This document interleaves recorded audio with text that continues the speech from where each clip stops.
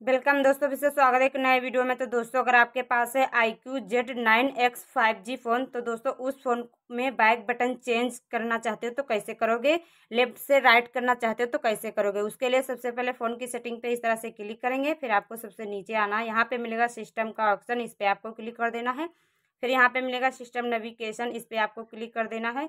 तो देखिएगा दोस्तों, यहाँ पे आपको लेफ़्ट साइड और राइट साइड बटनें दिख रही अगर आप ऊपर टिक लगा दोगे तो लेफ़्ट साइड हो जाएगी, नीचे लगा दोगे तो राइट साइड हो जाएगी।